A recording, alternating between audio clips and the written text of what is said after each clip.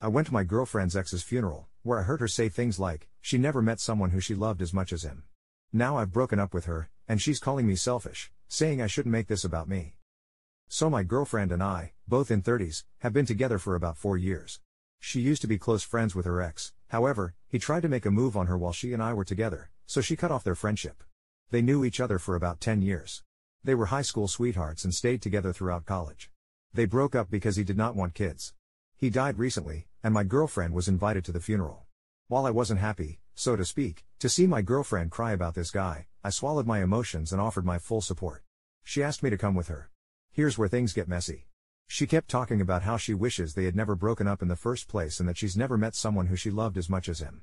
She made a speech saying that if things had been different, they'd be a happy family with children. I had to force myself not to say anything then. Now we're back home, and she hasn't said anything about what she said. I'm so close to just leaving, but I don't know if she only said that out of grief. To be clear, she didn't say these things to me. She was talking to others. Update Hello everyone, it's been a stressful couple of days, and my post got a lot more attention than I expected. It was overwhelming, to be honest. It's been a week since the funeral itself, and I've been talking to some friends, as well as reading comments on my last post. Truth be told, I've been hesitant to talk to my girlfriend about this because she's still been depressed. She's not talking to me at all, and I've been taking care of everything around our place. She's just been lying in our bed. I've tried to talk to her, but she just shuts me out. I've been reflecting on our past relationship and realized a couple of things.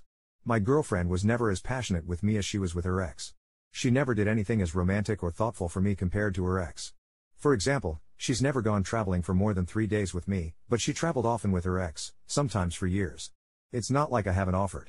I was simply told to get over it and that each relationship is different. People said things like, if she wanted to be with her ex, she would be. I broke up with her. I did have a talk with her. She refused at first by not responding to me, but when I told her I was leaving, she finally said something to me. I basically told her that I've felt like crap ever since she said those things at the funeral. I told her I feel like she would rather be with her ex than me, and that I felt like her second choice. She started to yell at me, calling me selfish, and said she's lost one of the most important people in her life, and I shouldn't make this about me. I was too tired to try to yell back, my things were already packed up. I'm staying with my parents for a while. Our lease doesn't expire for a few months, so I don't know what she's planning to do. I don't know what to do now. I thought I was going to marry this girl someday and have kids, but she wanted someone else all this time. I appreciate all the comments. Thank you. Update 2 I got a lot of support from this subreddit last time, and I appreciate it, so I figured I should update you all. It's the day before Valentine's, and I had actually planned something for my girlfriend before this whole mess started. I can't help but think of her. Our shared friend group didn't side against me, they have been supportive, to both of us it seems.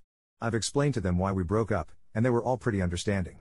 My friend and his girlfriend are friends with both of us, and I've asked them about my ex. Apparently, she hasn't been doing well. She's back to work, she took like two weeks off, but besides that, she hasn't been out of the apartment. She hasn't tried to reach me, and I haven't tried to reach her. Our lease expires next month, so I don't know what she's planning to do.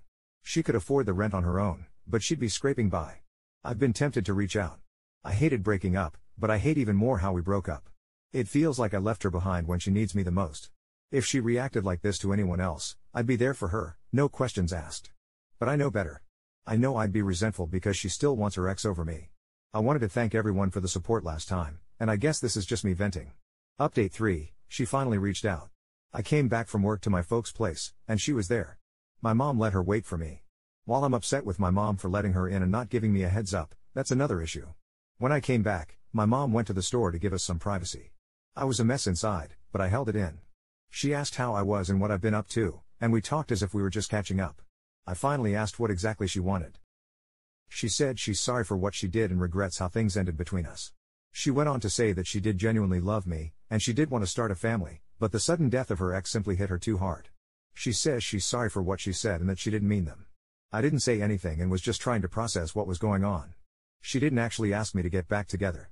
I told her that no matter what she says now, I can't forget what she said at the funeral and how she acted afterward. She said she understood and just wanted to talk to me. I told her that I don't think we can be friends, and that I don't hate her, but I just don't want to be near her. She left, and I was left a wreck. She seems to be okay. She looked healthier than the last time I saw her. I'm actually moving out from my folks' place, and I'm not gonna tell her. I'm gonna make sure my parents don't say anything. I hope that was the last time I see her, at least for a long while.